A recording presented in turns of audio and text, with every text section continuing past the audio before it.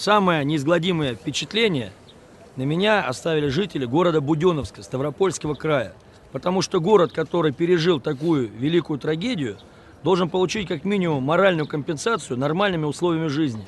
Но люди приходили навстречу, кричали, женщины выли так, что мы даже не успевали слова вставить. Потому что, начиная от мизерных зарплат, э, заканчивая произволом, отсутствием социальной инфраструктуры. И очень обидно, когда соседний регион финансируется по отдельному распорядку, и там строятся дворцы, замки, это все здорово.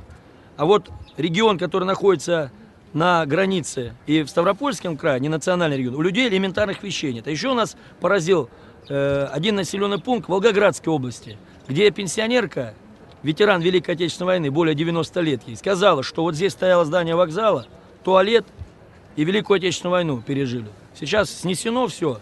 Больницу закрыли, поликлинику трехэтажную.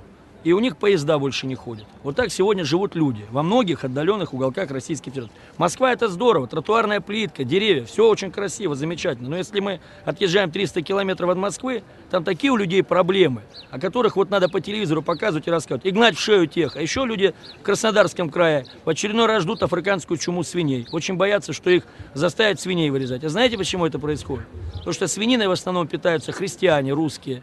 Мусульмане, иудеи свинину не едят. Поэтому нашим братьям на прилавке дают что?